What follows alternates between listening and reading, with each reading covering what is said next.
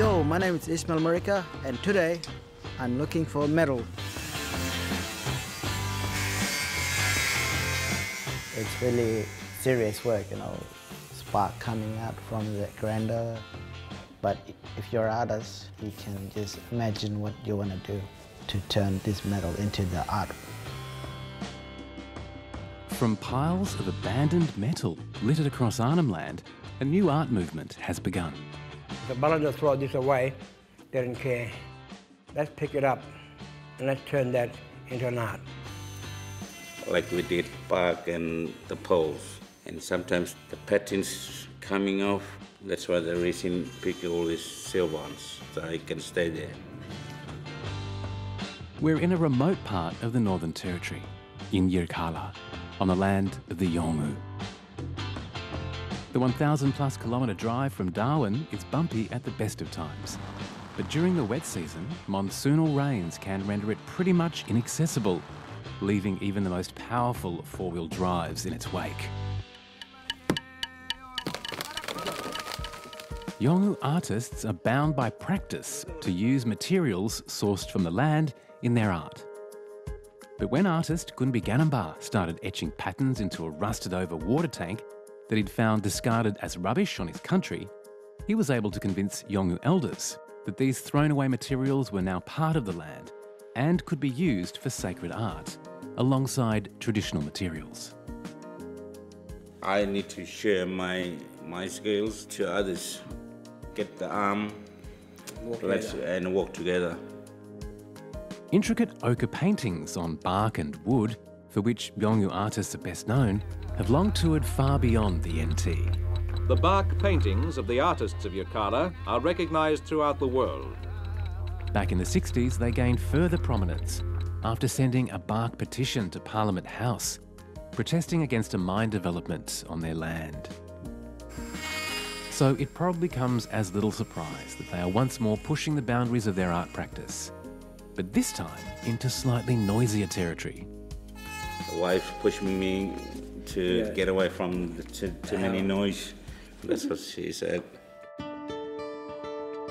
Now the work of eight Yolngu artists has made the long journey to Darwin for the exhibition Muringin, a story of metal from the East. In the Northern Territory, when you're replacing a sign with some new edict, you just drop the sign on the ground next to the sign. There's no recycling. And the Yolngu have taken these faded orders and directives and commands from far away in a foreign language, and they've repurposed them into something beautiful. People see patterns, but if you can read, it's actually text. It's hundreds of 30 to 50 stanza songs. So like the Iliad or the Odyssey or maybe the Old Testament, these songs have been converted not to text, as in those cases, but to patterns. These songlines, passed down by those with the authority and ceremonial knowledge, detail the all encompassing system that connects the land, people, plants, and animals. It's the same old songline. The story is still the same, but in a Yolngu way, we know the country. We straight away uh, do that with the Dremel, and we now have the style can come out. No, mistake. mistakes. Yeah. Everything measurement, it's here.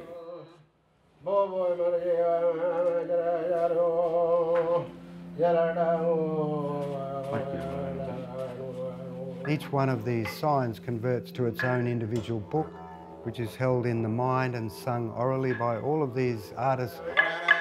Except you probably don't have the patience to wait for the week that it would take them to sing every one of these patterns.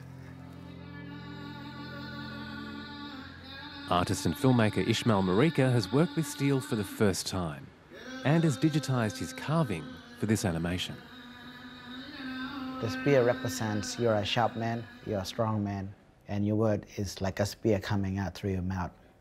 So, spear means everything.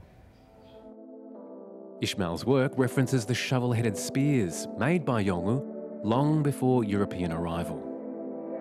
The tradesmen from Indonesia came. They're also bringing metals and trading with the young people, like machetes and knives, metal to work with to make spearheads. Yolngu were working metal, as you see here, uh, before the arrival of English people on the continent. So at the same time that this is a contemporary, exciting, modern form of artwork, it's an, an art form that predates Captain Cook. The richness of Yolngu art has long been recognised. But what continues to draw in the crowds is the depth and the distinctiveness of making art the Yolngu way. These pieces of art are stunning. But for me, because you're recycling discarded metal, which then pollutes our country, you are really doing a huge job for caring for country. And I thank you for that. The art that we do is more like caring and sharing like a family way of doing it because it gives the strength and the power. One painting, it's not enough, it's three or four, it's a family, and that's what we call the legacy that we pass on to our generation.